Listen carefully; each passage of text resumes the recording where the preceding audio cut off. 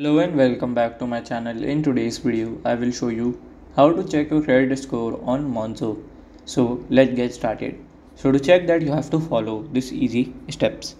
So first of all, uh, here you have to go to your app, okay, and then you have to uh, go to there at the credit score check button like this, okay, as you can see here and you can see your room to improve option doing done looking good and the other options.